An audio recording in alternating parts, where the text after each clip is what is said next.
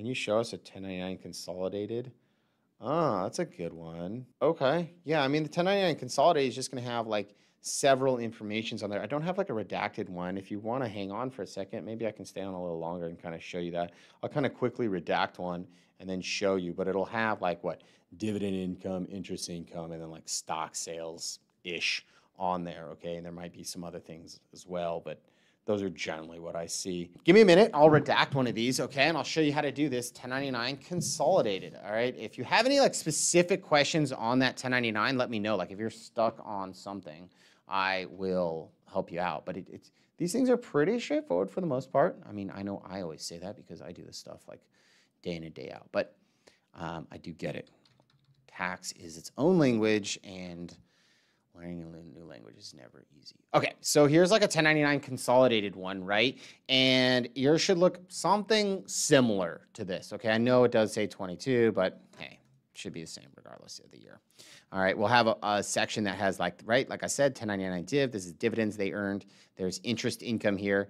And I think usually this is like the big meat and potatoes, but on this one, it's not that big, is the 1099B section. This is like stock sales that were done. Okay, so let's get right into this. Here we go. Wages and income is where this thing would be. We'll go to add edit. So investment and savings. There we go. All right, so this is it. We're just going to have to put this in kind of like one by one, 1099 interest, right? So that's essentially what we're doing here, right? We have a 1099B, we have a 1099 div, and the INT. So we're just going to kind of go through this one by one is really what it is. So here's 1099 INT right? We would just hit, uh, can we just do like add new? There's review, there's a new one here. Um, so, you know, you could do this and log in that way. I'm gonna do a different way, right? Just kind of put it in myself. Hit continue, there's the interest. Um, type it in myself is what I'm gonna do, okay? So essentially you'll see right here, the interest. I mean, this doesn't even pop up on a return. If it's under a dollar, doesn't even, rounds up and down off a dollar. So this wouldn't pop up, but I'll put it in there. Let's say we got a, you know, $5 here is where that would go, right? Hit continue, just so we can at least see something pop up here. None of these uncommon situations apply to me, okay? And there it is. That should be it, hopefully. There you go, okay? And then we go to the dividend section. Hit review. Go to our dividend section right here. This one's a little more complicated, a little more tricky. There's a couple more numbers we have to deal with here. Okay, and I'm going to do the same thing, enter it in a different way. Dividends. Okay, continue. See what happens when I do this. Hmm. Consolidated, boom. Whoops, well that didn't work like that. There we go.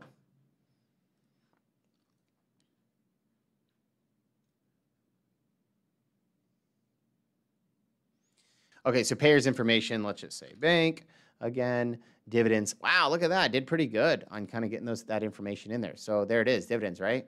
Um, let's do that split screen so we can kind of double check the work here.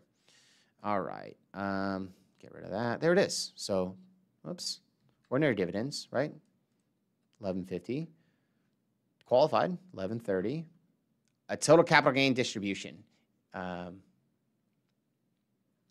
the so this is capital gains off of the stocks that you are invested in. So like, like an ETF or an index fund is essentially buying and, and trading within itself. So there's some capital gains here is what this is. But it all looks good here. Look at, let's, let's make sure they got this one as well. Section 199A, which is what, box five? Yep, look at that. They got that as well. This is a deduction.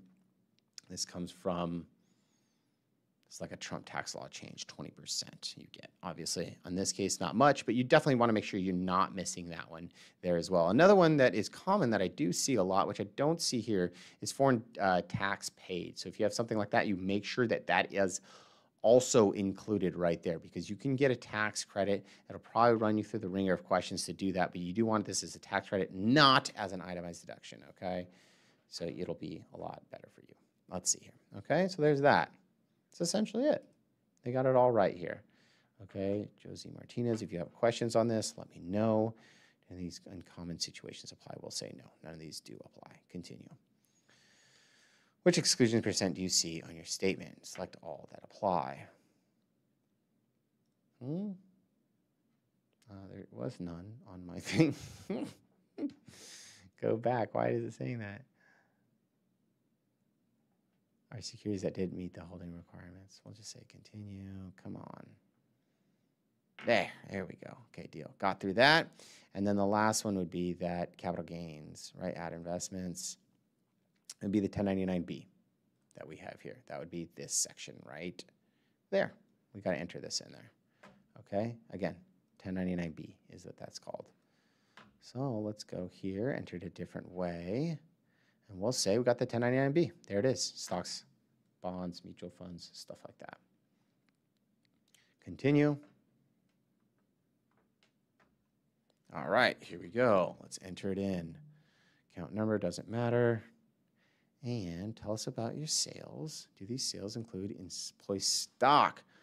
Oh, fun stuff, man. I have a whole video for something like this. This stuff is fun stuff, man. There's so many rules involved in stupid stuff like this, but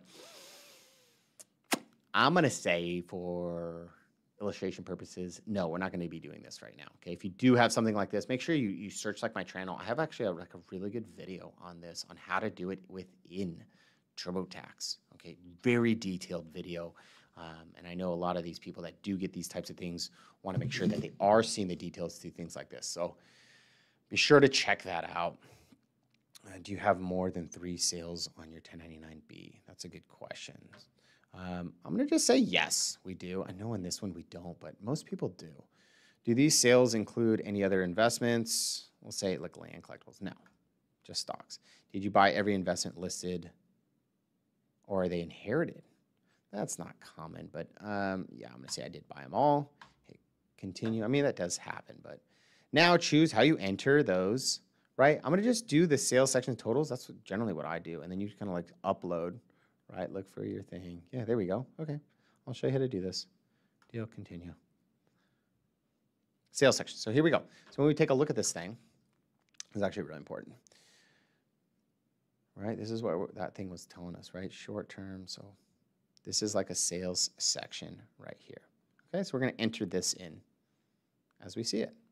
Short-term basis is reported. This is covered, right? So this was it saying right there. Oh, come on. Which basis is reported to the IRS, okay? So that's what it says right there. Deal. Total proceeds, we'll just look right on over here. Total proceeds, 93. Boom. Cost basis. What did you buy it for? 134.15. Okay. Do you need to adjust this? In this case, we're going to say no. Hopefully there is no wash loss. Yeah, there is no wash loss. If there's a wash loss, you would have to adjust that. Okay. So you would say, yeah, I need to adjust. And then you would say the wash loss, like code W. There it is, non-deductible. Boom. And you would put that total in there. But for my purposes, I'm not going to be doing that. Hit continue. So it's a loss, right? There you go. You can just double check that $40. There it is. Boom. Okay. And then you could just add another one, right? If we have like another common one would be like, let's say uh, this right here, right? Which is not reported. You could just do that as well. Not reported, right? Or if we have one of these long-term, this is also common, is reported. That would be another one, right? Long-term is long-term basis basis reported, right? There you go. So there's that. I'm going to hit back, but I don't have that. Let's see, continue. We're going to trash that one. Yes. Continue. Now we'll need to upload. Because you do them all kind of at once, like in this case, you have to upload a copy of this thing. So that, and it'll get filed with the actual return itself. So there we go. Just uploaded a copy. Boom. Done. Hopefully. There you go. There you go. There's your 1099 consolidated. So hopefully that answered your question there. Uh, I think that concludes my stream for the day.